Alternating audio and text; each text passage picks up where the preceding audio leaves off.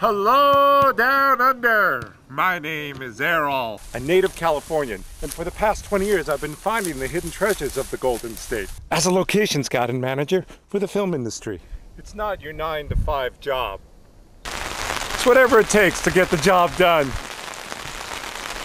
Sandwich that with 32 years of scuba diving experience, a passion for the outdoors, and you have some key ingredients for your position.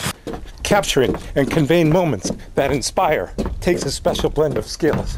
I bring that to the table to check off that empty box. Time is precious.